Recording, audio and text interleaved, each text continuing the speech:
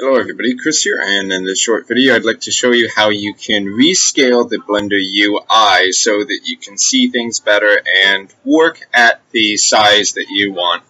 So in order to do this, we need to go up to the File menu, go to User Preferences. Alternatively, you can hit Control Alt and U at the same time on your keyboard. And then we're going to need to go over to the System tab, where you're going to see a setting called DPI. So we can left click on this and uh, basically move the mouse to the right in order to scale it up, or we can move it to the left to scale it down. So just get it to the level you want. Uh, maybe I'll increase it to 80 or so here so that it's a little easier for me to see on my laptop. But aside from that, that's basically it.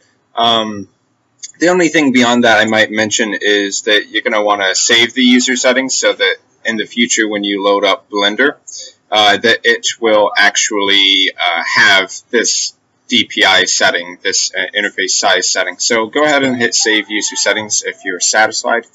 And beyond that, uh, you should be good to go. So thanks for watching. I've been Chris, and I'll see you in my next video.